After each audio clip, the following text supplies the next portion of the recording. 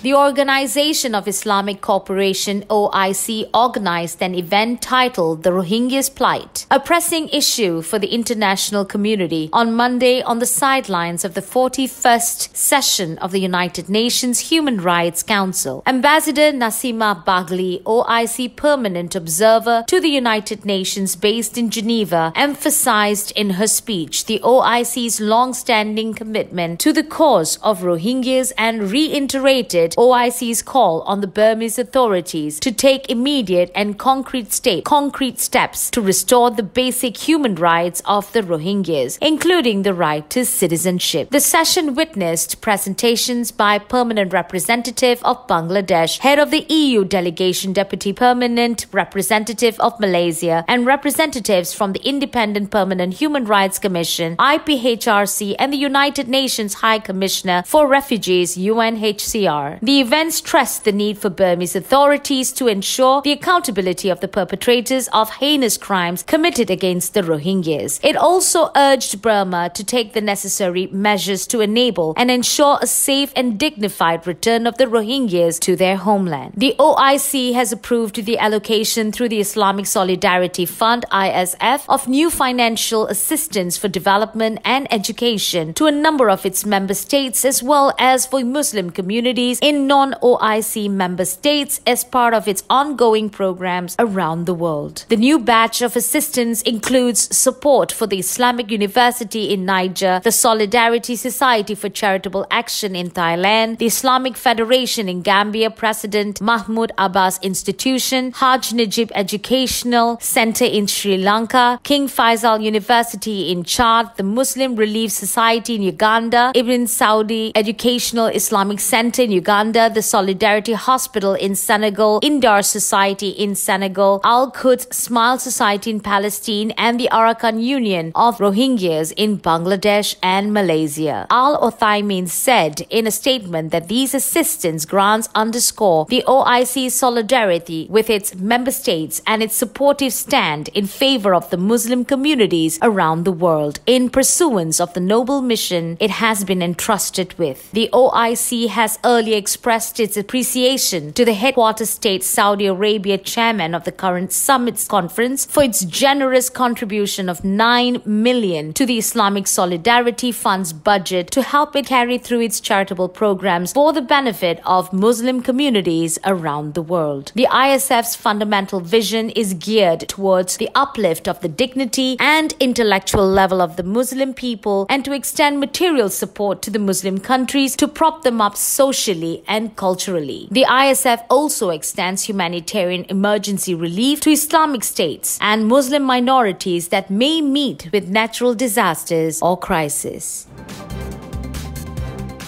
Former UN Secretary General Ban Ki moon has expressed concern that monsoon floods could threaten the lives of Rohingya refugees in sprawling camps in Bangladesh. Ban, who was visiting in his role as the head of the Hague based Global Commission on Adaptation to Climate Change, or GCA, said he was saddened and dismayed by what he saw while visiting the Kutupalong camp Wednesday in the southern coastal district of Cox's Bazar, where more than 1 million Rohingya from Burma have fled military backed persecution in their home country. Bangladesh has a history of violent cyclones but has reduced the number of casualties from such natural disasters by investing in roads and other public infrastructure, building cyclone shelters, and training volunteers across its vast coastal region, which has the world's largest continuous beach. Still, the UN's Children's Agency, UNICEF, said earlier this week in a statement that thousands of families living in the refugee camps and Bangladeshi communities in surrounding villages are at risk from flooding and landslides caused by heavy rainfall in the last few days. The situation is particularly grim in camps, though many of the more than 4,000 families affected have been relocated to safer areas, it said. Two children drowned following heavy rains and two children were injured so far. It said that schools and other facilities serving more than 60,000 children have been damaged. It's just impossible to think of how all these young people live in this condition. I know that there are more than half a million young people, Ban told the Associated Press in an interview during his visit to the camps at Kutupalong. Bangladesh is one of the countries most vulnerable to climate change. On Thursday, the International Federation of Red Cross and Red Crescent Societies, or IFRC, said in a statement that heavy rains triggered landslides in camps in Cox's Bazar, prompting the agency to organize response operations in seven camps where more than 8,500 people have been affected and over 1,800 shelters have been damaged or destroyed. It said the situation could be worse as the World Meteorological Organization forecasts that in July Bangladesh will be hit by the highest amount of rainfall 2019 with more than 730 millimeter of rain